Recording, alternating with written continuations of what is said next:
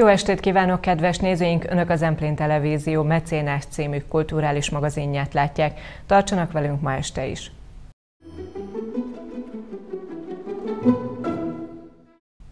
A Liszt Ferenc Kamara zenekar és új művészeti igazgatója Várdai István közös szereplésének egyike volt helyen a Zempléni Fesztivál programsorozatában. A Városháza udvarán megszervezett koncerten a szólista cselló művész karmesterként is fellépett Beethoven harmadik szimfóniájában. A nyáresti zenei eseményen maradandó zenei élményt nyújtott a közönségnek hazánk egyik legismertebb komoly zenei együttese. Örömkoncert, a szó minden értelmében igaz volt ez a Liszt Ferenc Kamarazenekar Sátoraljaújhelyi Városháza udvarán bemutatott koncertjére. Az élmény zenészeknek és hallgatóságnak is egyedi volt. Egyrészt, mert a zenekar és új művészeti igazgatójuk Várdai István kinevezése óta nem tudott színpadra állni. Másrészt az örömzenét Dvorzsák Schumann Beethoven művei jelentették. Ott akkor, ahogyan megszólaltak, a jelenlévők érezték, hosszú hallgatás után játszottak újra az zenészek. Egyébként valahol mindenki egy kicsit úgy magába fordult, bizonyos szempontból jó értelemben is, végig gondolta, hogy mit, miért csinál, mi az inspiráció, miért is van nekünk szükségünk az együttzenélésre, a zenélésre, a hangszerünkkel való kapcsolatunk milyen, és, és hogy amúgy alapvetően mit szeretnénk úgy az életben. És amikor utána ismét neki állhattunk próbálni, akkor ez egy nagyon érdekes közösséget még jobban megerősítette a zenekaron belül, úgy érzem, és azok a célok, amiket kitűztünk, azok a koncertek, amiket most már szerencsére elkezdhettünk játszani, és ez remélhetőleg nagyon sokáig még így fog folytatódni.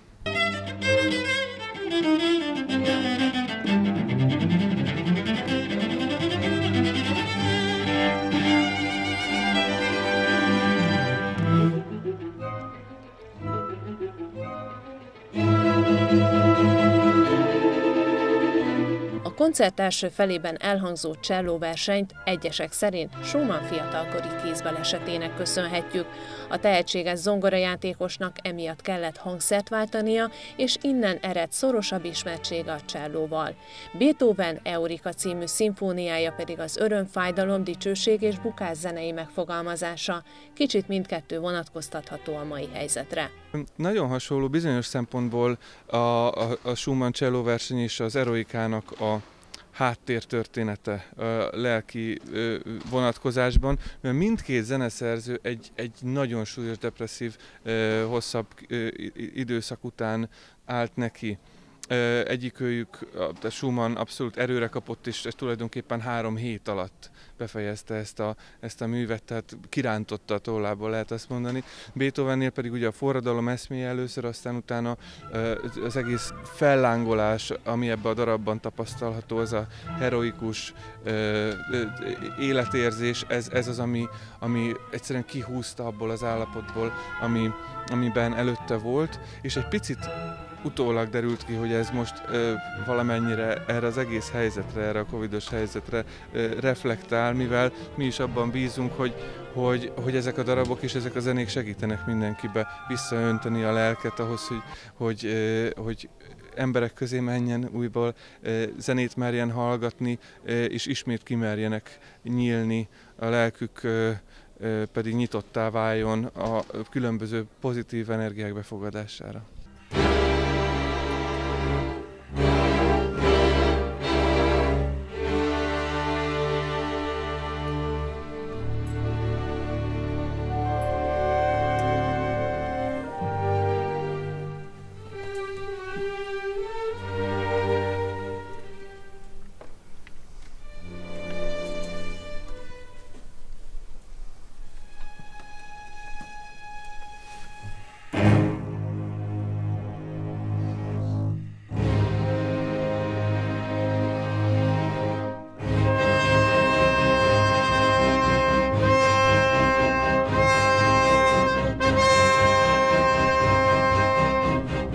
Öröm, a fájdalom, tehát hogy még a fájdalom sem teljesen olyan fájdalmas volt ebben a tételben, hogy a fájdalom is valami felé visz. Nekem, nekem ez, ez jött le. Abszolút a feldolgozás, tehát a, a kiadás az embernek magából, az zeneszerzőnek főleg, hogyha ilyen zseniális adottságokkal rendelkezik, mondom, hogy egyszerűen képes kiírni magából.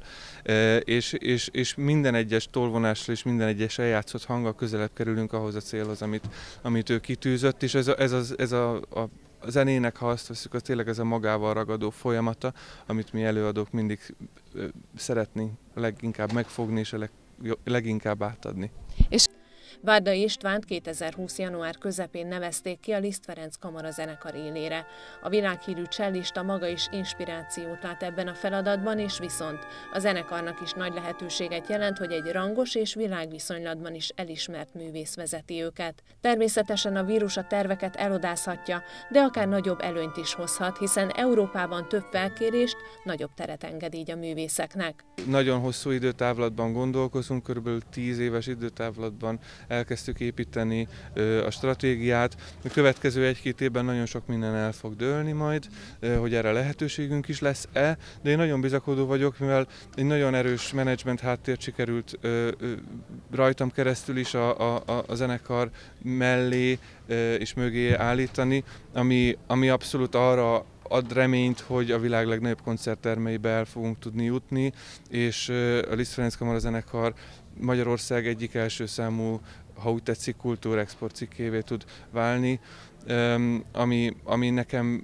mint elsősorban, mint zenész nagyon inspiráló, tehát azok a fajta zenék, amiket meg fogunk tanulni, és amelyeket a, a, a repertoárunk fő pillérjeivé válnak, azok, azok pont azok a dolgok, amiket én csalóval már nem tudnék eljátszani. Úgyhogy nekem ez valamilyen szempontból ez egy, egy tovább lépés az életemben, és nagyon remélem, hogy a, a zenekar is kap tőlem majd olyan inspirációt és olyan jellegű impulzusokat, ami, amivel ezt a fejlődési folyamatot együtt meg tudjuk élni. A zenekar és a művészeti vezető számára is fontos a tehetségkutatás. Várdai István a magyar tehetség nagykövete, így zenekari munkájában is kiemelt helyen kezeli ezt az ügyet. Ez nagyon fontos részlet, az egyik fő eleme a, a, a úgymond a profilunknak. Tehát az a terv és az a célunk, hogy akárhova megyünk a világon, minimum egy, azon az egy napon, minimum egy iskolába a koncerten kívül el fogunk menni.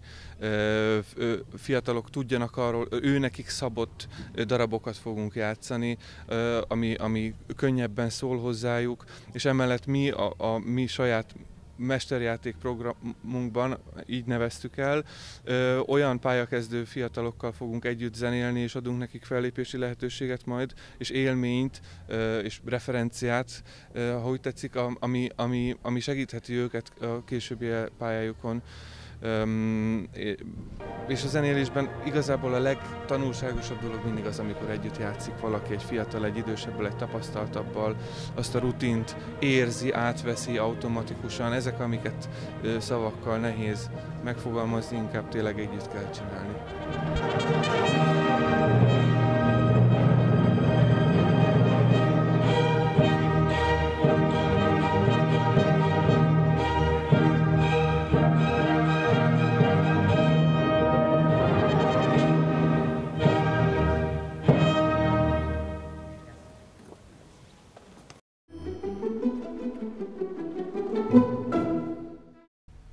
Látványos régészeti és építési szakaszon van túl idén is a Sátoraljaújhelyi vár feltárásában résztvevők csapata.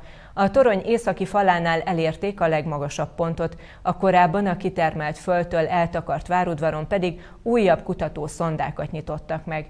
Az idei esztendő tervei között a falsíkok kialakítása és konzerválása szerepel a terület északi oldalában, a folytatásban pedig már egy látogatóbarát sétány és kilátópont kialakítása szerepel. 2020-ban 163 napra szerződtették a régészeti feltárásban résztvevőket a Sátoraljaújhelyi vár munkálataira. Az első néhány hónap rögtön látványos eredményeket hozott, amelyet még a karantén sem tudott meghiúsítani.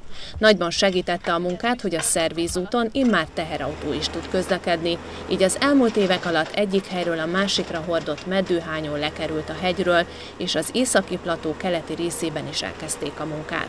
A megmozgatott földet lehordás előtt újra átnézik a fémdetektoros önkéntesek, és a régészeti leletanyag is gazdagodott idén.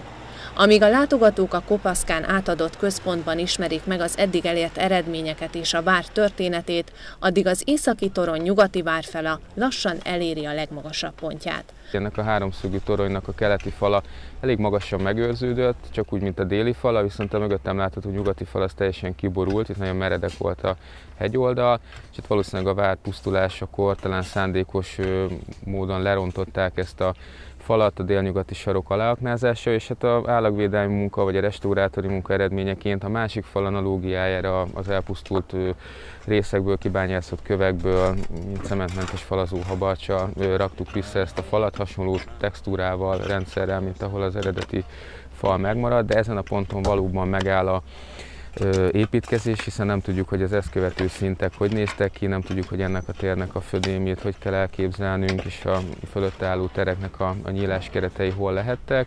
Úgyhogy valójában egy, egy konzerváló munka ez inkább, amire pedig egy nagyon modern és a eredeti részektől nagyon élesen elváló építészeti beavatkozás fog történni, ami alapvetően egy, egy kilátónak és egy sétánynak a, a, a létrehozás. Ez nagyon erős jel lesz, egy nagyon erős látvány lesz ez, hiszen nagyon kontrasztosan el fog válni a falaktól. Tudatosan azt az irányt választottuk, hogy mivel a vár szinte teljesen elpusztult, nagyon keveset tudunk róla, ezért nem kísérlünk meg semmiféle rekonstrukciót vagy olyan beavatkozást, ami hát a bizonyosságnak valamilyen fokán áll, de nem tudjuk azt eldönteni, hogy milyenen, hanem tudatosan választottunk egy nagyon modern és nagyon transzparens beavatkozást, ami alapvetően az eredeti részeknek a bejárhatóságát és a, inkább a tájnak, a, a környező panorámának a, a megtekintését szolgálja majd.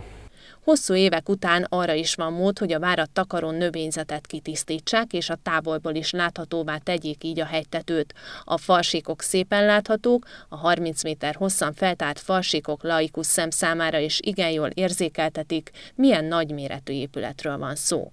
Mindenhol megvannak a falak, általában a falsíkok omlottak le, de a falmagok több helyen akár 2-3 méter magasságban is állnak, és hát az a, az a cél, hogy mindenhol a falak előtti eredeti terepszintet felterjük általában az omladék rétegek eltávolítása. Itt a fal előtt támpilléreket találtunk például viszonylag jó és magas állapotban, emögött viszont a fal lepusztult, tehát a falsíkoknak a visszafalazása fog megtörténni addig a pontig, amíg a falmagot is megtaláltuk. Összességében, mivel itt nagyon erősen lejtett terep, ezek, ezek nagyon látványosak lesznek így önmagukban is, sőt a projektben szerepel ezeknek a megvilágítása, miként az innen a peremtől lefelé nagyjából 10 méteres sávban a növényzetnek, bozótoknak, cserjéknek a, a kitisztítása is, tehát egy nagyon jó ráláthatóság lesz majd a 37-es irányából ezekre a feltárt falakra, amik, mint mondtam, majd egy, egy diszkivilágítást is kapnak ebben a projektben. Tehát lesz, lesz egy várszerű megjelenése mindenképpen, noha nagyon szerény maradványokkal, de mégiscsak lesz,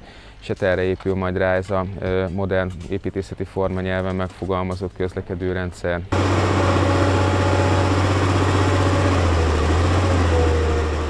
Ahogy a gépi földmunka elkezdődött, úgy az északi várrész déli felében is megkezdődött a régészeti munka.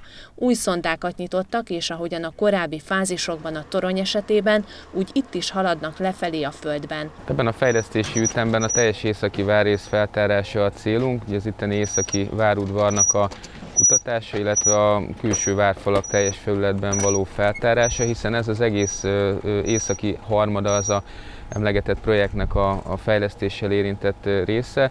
Itt ugye a várudvaron különböző moduláris közlekedő sétányok kerülnek majd kialakításra, ami biztonságos bejárást eredményeznek, és itt mögöttünk pedig egy ilyen klasszikus régészeti ásatás zajlik. A várudvar feltöltési rétegeit, pusztulási rétegeit kutatjuk, dokumentáljuk, nagyon leletgazdag régészeti rétegekről van szó, nyilván van egy tudományos hozadéka is ennek a munkának, egyrészt a vár építés történetére, pusztulásának történetére szerzünk új adatokat, másrészt pedig hát a tárgyak segítségével a várban zajlott mindennapi életet is bizonyos mértékben rekonstruálni tudjuk. Ez a cél, hogy az eredeti szikla felszínig feltárjuk a különböző rétegeket, és hát a már emlegetett közlekedő útvonalaknak a kialakítása ezt követően történik. Meg a keleti várfalnak, ahol a, ugye annak a nyomvonalán nem lesz majd ilyen sétány, ez csak a nyugati részen valósul meg, ott restaurálásra kerülnek majd a falak, és ott is gyérítésre, tisztításra kerül a növényzet, tehát a város felüli oldala is látható lesz majd a várnak, a várfalak azért valamennyire majd fel fognak sejleni, akár a Szárhegyről tekintve, akár a, a városból tekintve, hogyha a növényzetet gyéríteni tudjuk. Úgyhogy ott, ott inkább egy ilyen klasszikus rom-várom-szerű megjelenése lesz majd ennek a területnek. A múzeum, mint gondos gazda, nem csak a kiállítás megtervezésével, a vár történetének igen alapos feldolgozásával, a látogatóközpont interaktív tárlatainak létrehozásával teszi izgalmassá számunkra az új helyi várat. Ringer István régész, mint a feltárás vezetője, az elmúlt év nyarán indított el egy érdekes és igen népszerű vlog sorozatot. A régész karrierem romokban hever címet viselő rövid internetes sorozatában lépésről lépésre ismerhetjük meg a történelmi emlékhely feltárásának részleteit. Innen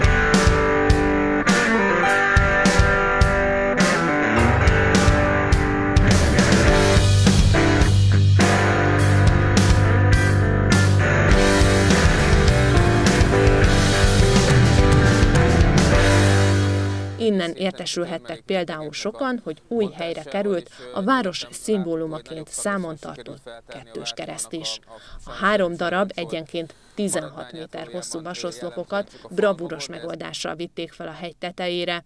Ezek az óriási oszlopok tartják a 12 méter magas keresztet, amelyet fehérfényű sorokkal világítanak meg.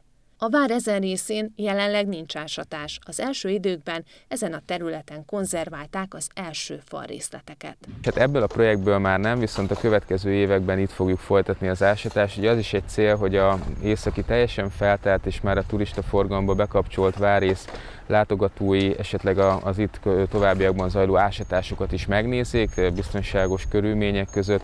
Úgyhogy ez egy hosszú távú projekt még mindig, viszont 2008-hoz képest, amikor ezt elkezdtük, és, és itt botorkáltunk ugye a gazba, nem nagyon találtuk a várat, akkor nagyon hideg nyomon jártunk, ahhoz képest nyilván ez már egy, egy komoly előrelépés lesz. Jövő év végére lesznek ennek igazán látható eredményei, akkor zárul majd le ez a, ez a projekt szakasz. Az irántjelző kettős keresztől nem messze egy ciszternát és egy farkasvermet is feltártak a régészek. Ez a két üreg határolja el az északi várrészt a délitől. Valószínűleg egykor éppen ezt a védelmi funkciót látták el ezek a földbe vájt hatalmas és mély üregek. Az egyik egy olyan sziklárok vagy farkasverem, ami valójában ezt a déli várrészt elzárta, leválasztotta a középső és az északi várrésztől, fölött egy olyan híd ívelt, amit rekonstruálni fogunk. Itt valószínűleg majd a sziklárok alján meg fogjuk találni a hídnek a, a pillér letámasztásait, vagy az oszlopoknak a fészkeit, és hát ez alapján kiszerkesztésre kerül majd egy fahíd, tehát valóban közlekedés lesz itt a két várrész között, és mellette pedig a várnak a, az egyik ciszternája, déli ciszterna látható. Két ciszterna is volt a várban, ugye az északinak a, a feltárása most kezdődött, itt a déli várrészét már korábban megtaláltuk, de idén ezt is tovább kutattuk ezek is bemutatásra fognak majd kerülni. Önmagában a, a szerény méretű falak mellett ezek a nagyon mély sziklába vált objektumok, a sziklaárok, a két ciszterna szerintem kifejezetten látványos lesz, és hát egy elpusztult vár esetében azért ezekben mindig bízni lehet, hogy legalább a földbe vált üregeket, azokat megtaláljuk, hát ez így is lett. És természetesen a, a, a leletanyag is nagyon gazdag, ugye nagyon fontos utalni arra, hogy itt nem csak egy turisztikai fejlesztési projekt van, hanem egy tudományos kutatómunka, ami egyrészt a vár építés történetére fog majd számos új adatot hozni, ami a történeti ismereteinket pontosítja, másrészt pedig egy hihetetlenül gazdag tárgyi leletanyagot hoz felszínre ez az ásatás. Én azt gondolom, hogy anélkül, hogy túlzásukba esnék, számosságát tekintve, összetételét tekintve mindenképpen egy országos szinten is jelentős középkori leletanyag kerül elő ebből a várba, és hát fontos része a projektnek, hogy ezeknek a tudományos feldolgozása, restaurálása, tisztítása, múzeumi bemutatása is megvalósul ebből a projektből, ami egy óriási dolog az én megítélésem szerint, tehát nyilván én alapvetően szakemberként tekintek továbbra is erre a munkára, nem elvitatva azt, hogy nagyon fontos az, hogy a ez a munka ne öncélú legyen, ne egy tudományos kutató munka legyen, hanem valóban egy, egy rögségturisztikai fejlesztés, ami aztán akár turisztikai hozadékkal is bír itt a város és régió számára.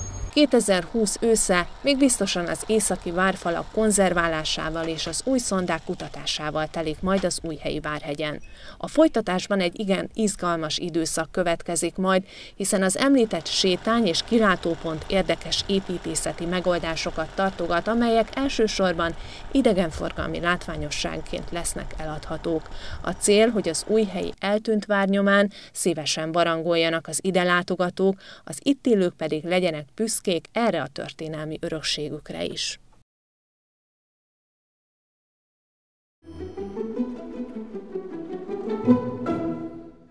48. alkalommal rendezték meg idén a Tokai írótábort. A három napos esemény keretében plenáris ülésekre, kerekasztal beszélgetésekre, folyóirat bemutatókra egyaránt várták a résztvevőket. A központi téma a trianoni békediktátum aláírásának századik évfordulója volt. Az írótábor keretében felavatták Reményik Sándor emléktábláját is, és átadták a Magyar Írószövetség díjait is. Elsimon Lászlóval, az írótábor új elnökével beszélgettünk a megújulásról, az értékekről és az írói közéletről.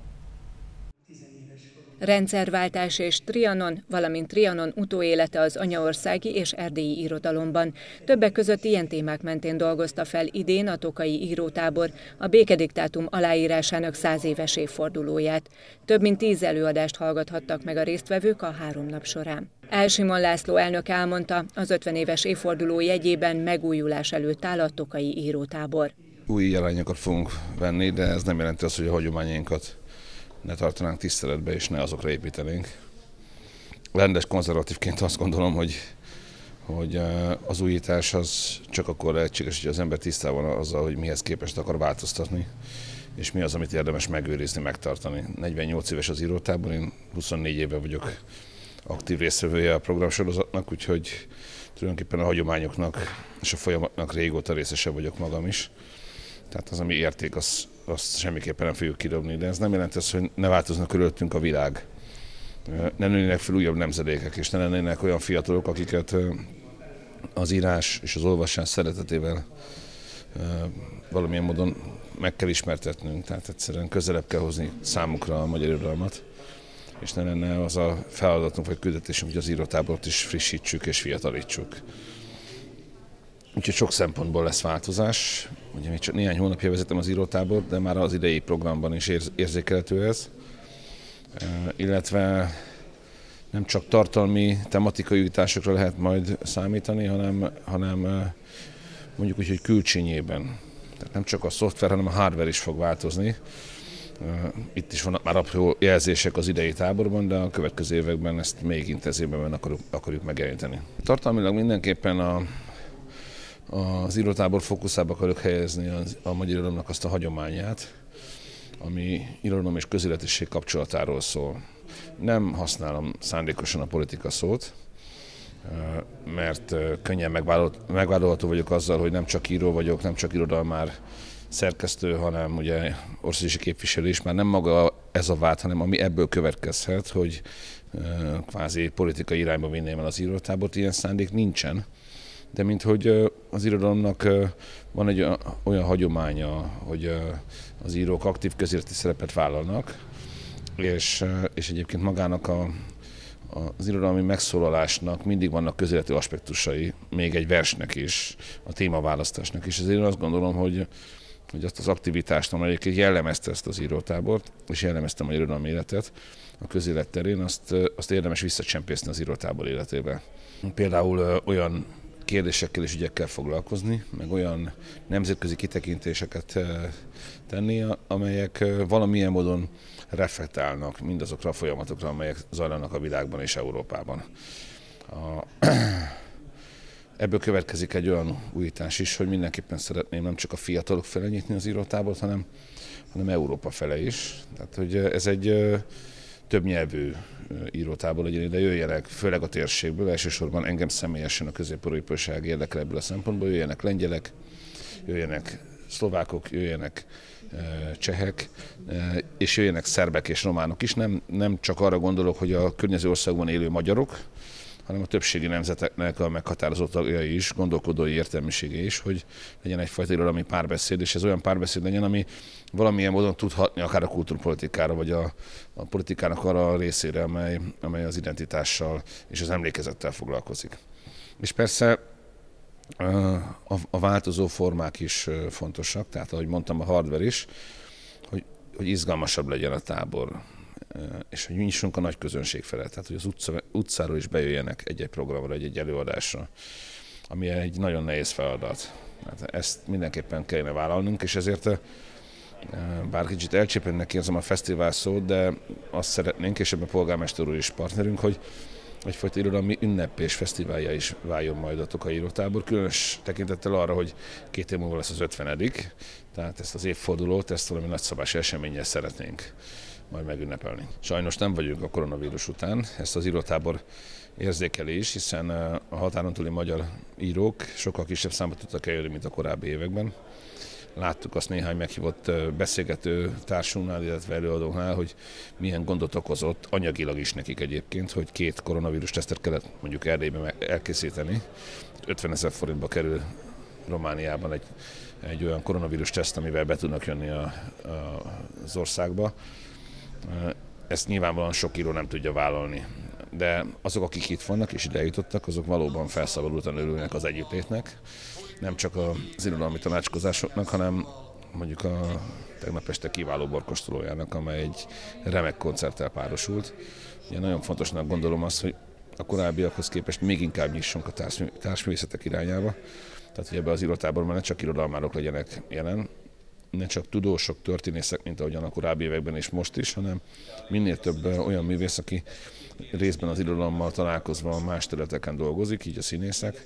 Volt az irotáborban idén egy nagyon nagyszerű előadás a Miskolci Nemzeti Színháznak, és és ugyanezt gondoljuk a zenéről, hogy minél több zenei esemény legyen, ráadásul olyan zenei esemény, amely, amely a, az utcán sétáló fiatalokat is becsalogatja akár, és találkozik azzal, a, a, azzal hogy itt Tokajban évtizedek óta írótáborban, amit nem feltétlenül tudnak az ide járó turisták. Nagyon aktív egyébként az irodalom élet most is, én uh, csodálkozom nézem, hogy a,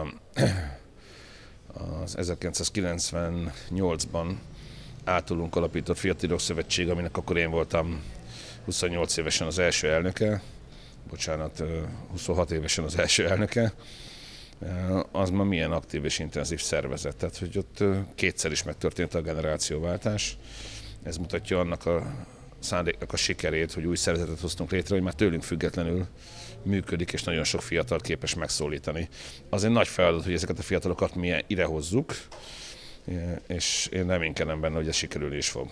A Milleniumi Emlékparkban felavatták Reményik Sándor emléktábláját, majd átadták a Magyar Írószövetség nagyhordó díját, amelyet idén Szentmártoni János korábbi elnök vehetett át. Hát nagyon sok kellemes élmény kapcsol ehhez a Tokai táborhoz. Szinte az írói karrierem a Tokai táborban indult, és az itteni táborlakók láttak fölnőni.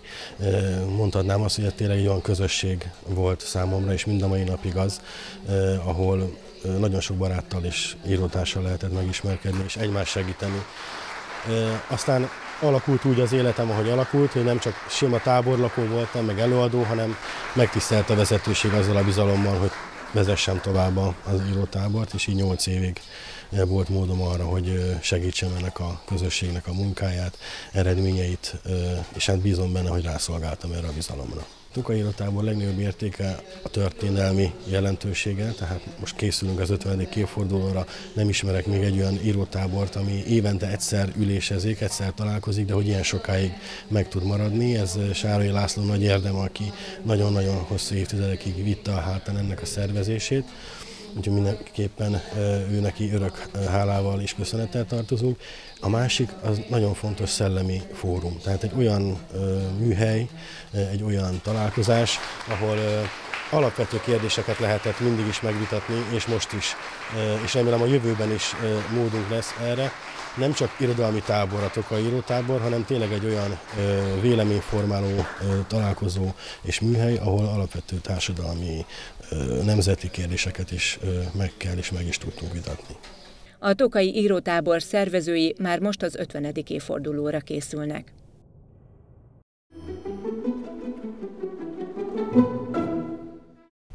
Kedves nézőink, Mecénász című kulturális magazinunkat látták. Számítok majd egy hét múlva a figyelmükre, tartsanak velünk akkor is. Viszontlátásra!